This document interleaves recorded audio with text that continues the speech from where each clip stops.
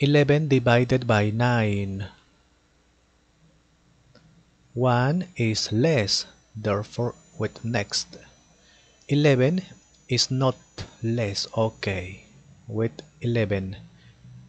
9 multiplied by which number is nearest to 11 but not greater 9 multiplied by 2 is 18 18 is greater 9 multiplied by 1 is 9 11 minus 9 is 2 next there is not number therefore complete always complete with 0 here with point. point 0 point okay? 20 9 multiplied by 3 27 is greater multiplied by 2 is 18 okay?